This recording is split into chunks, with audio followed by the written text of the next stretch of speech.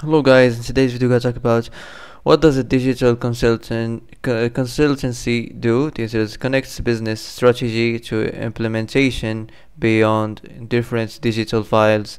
So that's for today. I hope this is the answer you've been looking for. If you like this video, don't forget to like and subscribe and see you in the next video.